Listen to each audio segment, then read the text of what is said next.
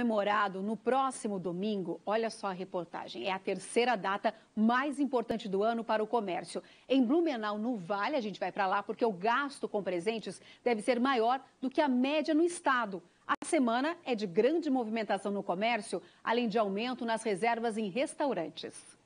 De acordo com a CDL Blumenau, o ticket médio aqui na cidade deverá ser de 196 reais, superando a própria média do estado, que é de aproximadamente 150 reais.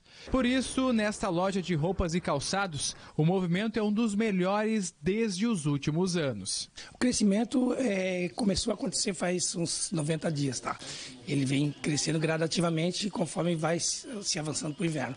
E o Dia dos Namorados, tá? Assim, a gente realmente é, ainda não chegamos no Dia dos Namorados, mas assim, é, a gente está vendo que o pessoal tem procurado muito cedo, né? A gente vê pelo nosso Instagram, pelo WhatsApp, né? A procura é muito grande, então realmente tem, tem nos surpreendido. No ramo de relógios, óculos e joias, ainda há expectativa de receber novos clientes até o próximo sábado.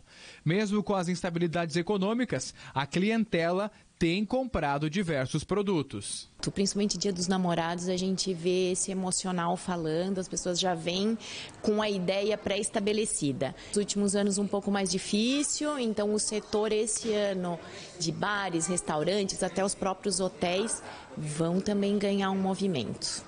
Além dos tradicionais presentes, o setor de hotéis, motéis e restaurantes também deverá receber um público acima da média.